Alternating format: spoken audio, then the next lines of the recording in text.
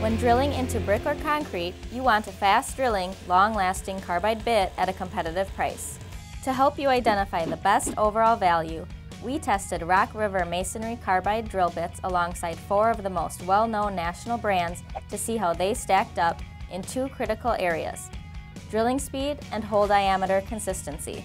Using a 4,000 pound rated exterior mix aged concrete slab and a special rig designed to apply a consistent drilling force, we took three different sized bits from each brand and drilled each sample 100 times. After four rounds of testing, we drilled a total of 1,200 holes per brand. And here are the results. As you can see, the Rock River bits drilled about as fast as, and in some cases faster than, the national brands.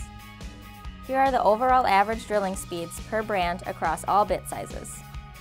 In addition to testing for drilling speed, we utilized calibrated pin gauges to measure the consistency of the hole diameters produced over the course of the testing. Even after drilling 100 holes, all of the quarter inch, 3 8 inch, and 1 half inch Rock River bits stayed within the ANSI prescribed tolerance for diameter, ensuring a good fit for the mating anchor. Notably, none of the samples broke, bent, or failed during any of the 1200 drillings. In short, when subjected to our punishing tests, Rock River carbide bits drilled hole for hole with the biggest names in the industry, keeping pace in terms of drilling speed, durability, and consistency.